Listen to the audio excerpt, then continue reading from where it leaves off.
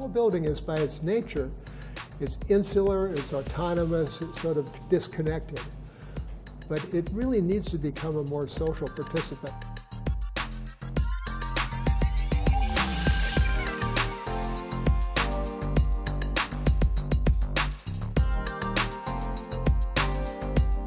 I, I, had designed the building basically as a dialogue between the earth and the sky, and using two Chinese architects, a, square prism, what they used to represent the earth, and a circular disk representing the sky, and so the, the blending of those two geometries became the form of the building. So I started with a circular hole, the, the, the circle and the square being a, a, a familiar theme in Chinese architecture.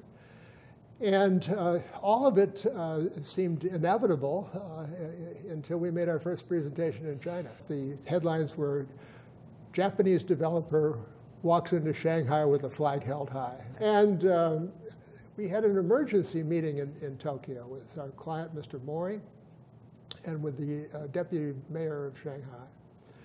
And at that meeting, I suggested, well, what if we put a bridge across the aperture sort of symbolizing the joining of two sides, you know. And so we changed the aperture into not a square, but it's, it's a trapezoid, uh, which follows the lines of the building and, and takes on a different geometry, but frankly, uh, I like it better. Now they refer to the building as the bottle opener. They couldn't have done that with my circle.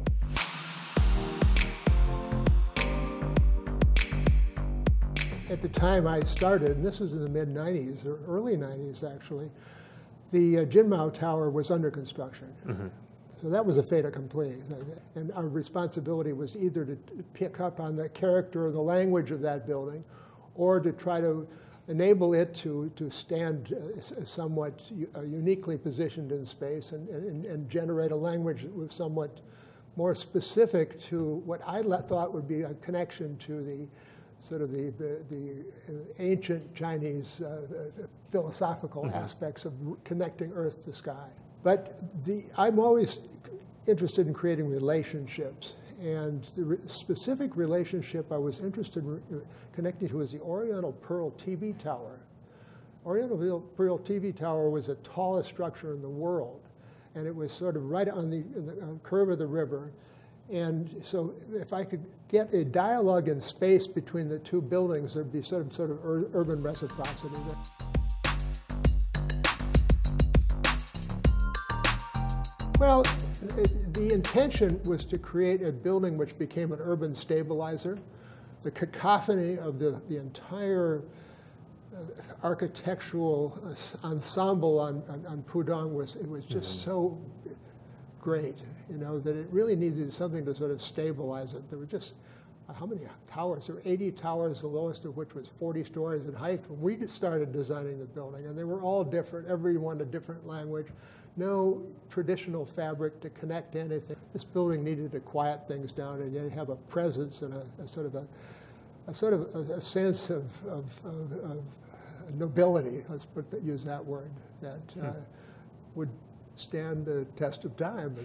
It's only been 10 years, but uh, it seems to do okay.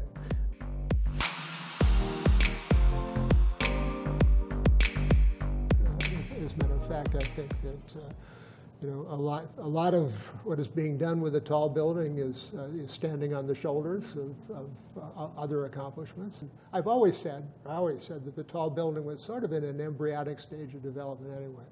You know, it's been around for 100 years, right? But in terms of how it performs as an urban participant, I think it's just sort of getting the, an understanding of how to do that. The tall building is by its nature, it's insular, it's autonomous, it's sort of disconnected.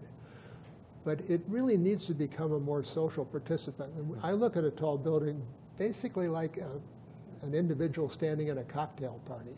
You know, some guy who stands off in the corner uh, looking elegant but not communicating, you know, is just not going to make the connections that are necessary. And the, these buildings are so anthropomorphic in their, their uh, basic shape characteristics that they tend to have sort of that sort of identity.